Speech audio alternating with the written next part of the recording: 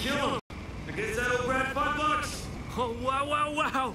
I never saw a fight so fierce. That was brutal. You were a monster. Okay, so glad. Furious worked and, and didn't kill you. Hey, recipe's yours, deputy. And use it for good or, or bad. I mean, if you want, I, I guess. But err on the side good, maybe? I just... I, I, I want to make up for what... Uh, happen, and, and, and, and, and I, I don't think I'm the best person for the job. Hey, but you might be. I mean, I, I hope. Unless you get killed. Then maybe not.